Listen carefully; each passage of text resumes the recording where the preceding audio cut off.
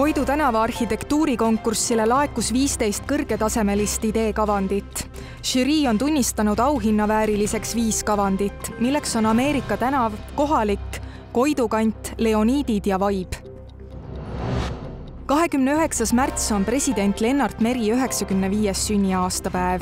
Eesti Rahvusraamatukogu tähistab seda nii veebinäituse Üks meri kõik rännu ja riigimees Lennart Meri avamise ja filmiõhtuga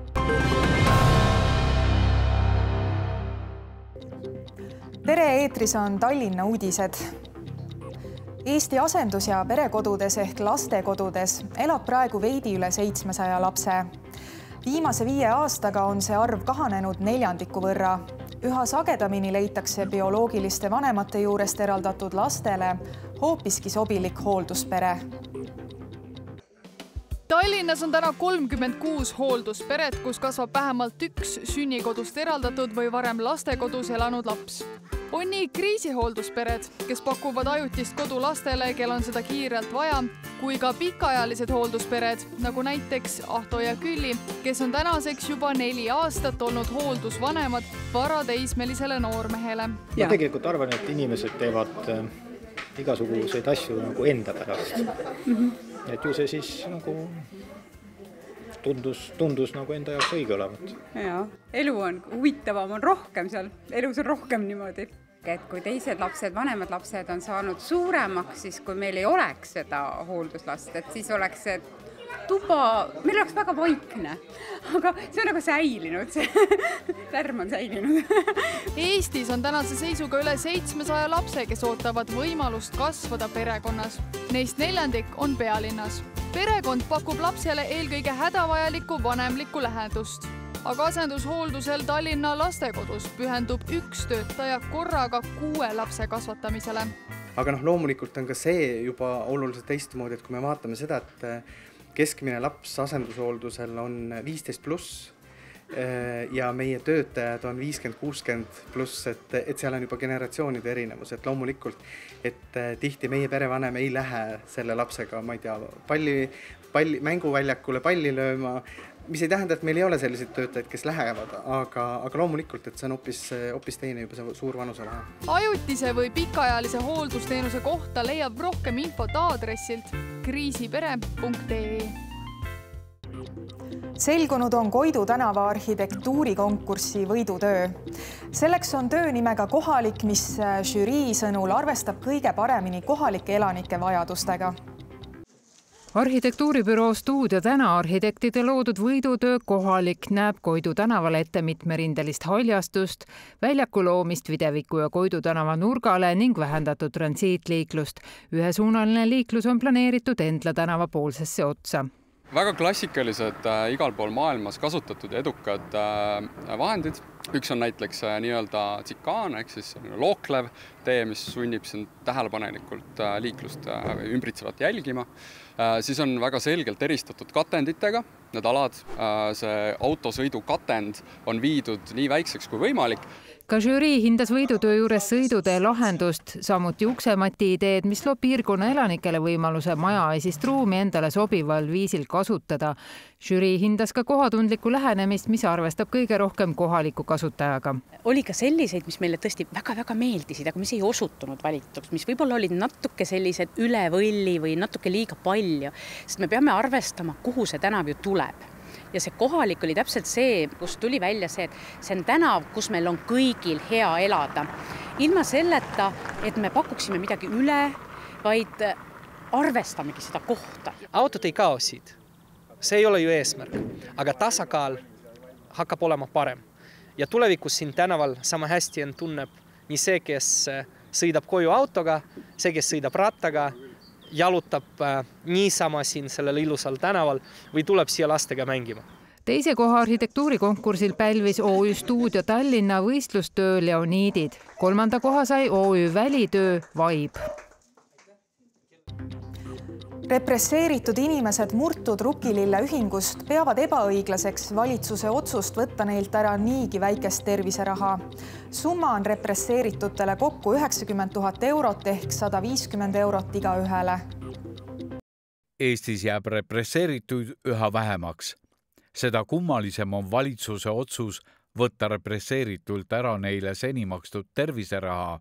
kui meie riigijuhid ja valitsejad olid kogunenud memoriaali juurde mälestama meid ja meile kaasa tundma ja sõnu ütlema, aga ma oleks tahtnud neile ka meenutada, et, et kaastundmine on tore asi, aga aidake meil ka, nagu öeldakse, hakkama saada meie raskustega. seda ei oskagi seda tunnet sõnades edasi öelda. see on midagi alandavat. me olime Siberis, me tulime tagasi, me olime lojaalsed ja nüüd on siis nagu tähelepanu selle kõige eest ja tänu mittetulundusühing Murtud Rukkilill oli kutsutud Tallinna linnapea vastuvõtule samaks päevaks, kui linnapea kaotas võimu pealinnas.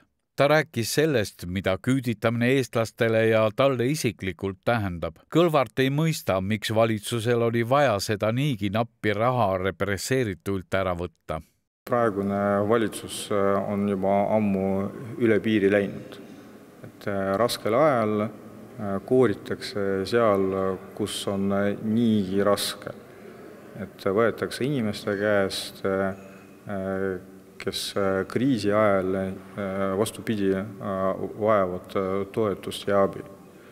aga represseeritute puhul see on ka sümboolne käik, mida praegune valitsus teeb. see on tegelikult kuritegu ajaloo vastu. eks igaüks saab hakkama, aga küsimus pole niivõrd ju hakkamasaamises, vaid inimlikkuses tänavune kahekümne üheksas märts on president Lennart Meri üheksakümne viies sünniaastapäev ning Eesti Rahvusraamatukogu tähistab seda veebinäituse Üks meri kõik, rännu ja riigimees Lennart Meri avamise ja filmiõhtuga Eesti armastatumale presidendile Lennart Merile pühendatud veebinäitus Üks meri kõik, rännu ja riigimees Lennart Meri avab lisaks presidendiks olemisele Meri elu seni vähem tuntud külgedest. reisimisrohkest lapsepõlvest alustades ja lisaks saab näha pilte, mida avalikkus seni näinud ei ole. Riigimeheks oleku ajal oli tegelikult Lennart Meril veel üks roll. Tema oli rännumees ja see näitus tegelikult räägibki sellest, ähm, kuidas see rännumees ja riigimees, kuidas nad on koos selles ühes Lennart Meris. tõesti, ma ütlen, et see on nagu ülihuvitav endal olnud ka, et see on tõesti nagu endal ka selline rännak olnud. Veebinäitusel on oluline osa interaktiivsel maakaardil, milles saab avastada Lennart Meri elukohti lapsepõlveaegadel, reiside, filmivõtete ja välisvisiitide sihtkohti ja suurt avastamisrõõmu pakuvad kindlasti ka raamatu Hõbevalge asukohad. veebinäitus on kõigile kättesaadav alates kahekümne üheksandast märtsist.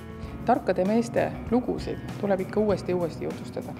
ja võib-olla tema mõte, et kõigil rahvastel on eluõigus, ükskõik kui väike see rahvas on et suurtel rahvastel on jah, võib-olla omad võimalused, aga, aga või tähendab, ta vist isegi ütles, et suurtel rahvastel on omad kohustused, aga väikestel rahvastel on võimalused täna tähistatakse ülemaailmset klaveripäeva.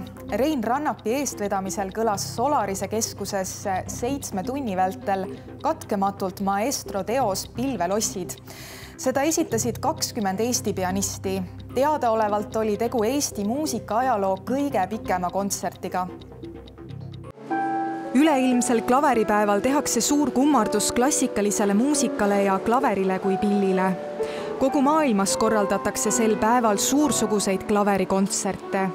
nii tekkiski Rein Rannapil idee ka Eestis midagi enneolematut korraldada. ja siis mul tuligi see idee, et äh, mängida ühte lugu järjest niimoodi korrata kogu aeg, et luua selline staatiline, müstiline atmosfäär siia keskosesse. kui palju proove olete teinud selleks tänaseks kontserdiks?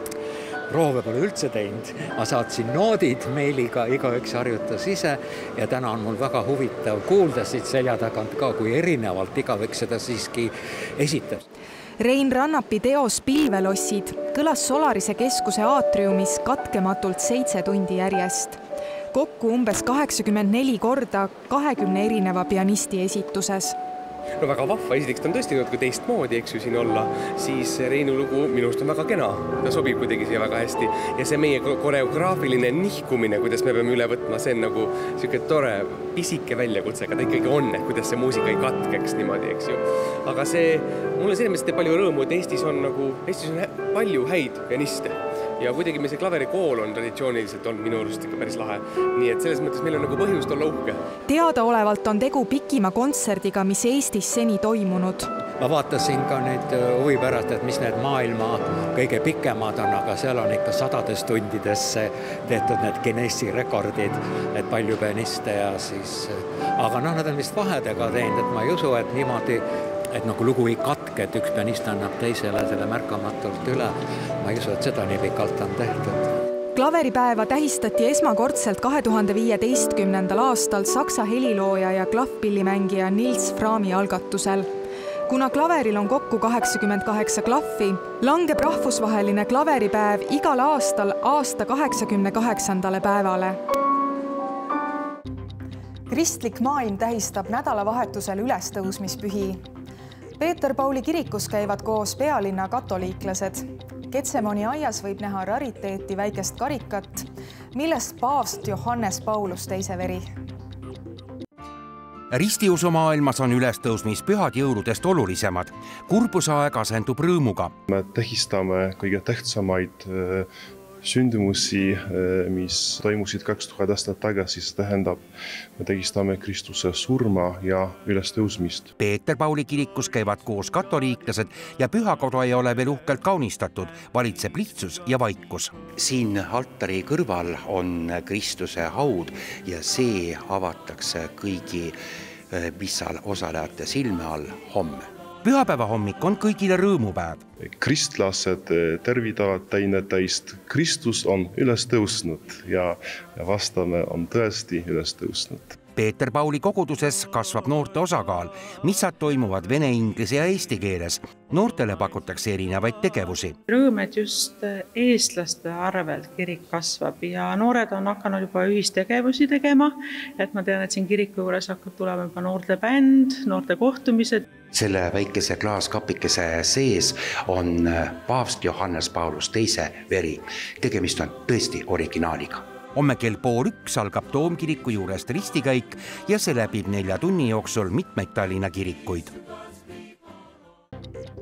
keskkonnaagentuuri ilmaprognoosi järgi lähipäevil veel öistest miinuskraadidest lahti ei saa. päeval ulatuvad aga õhusooja maksimumid kaheteist kraadini. aeg ilmateateks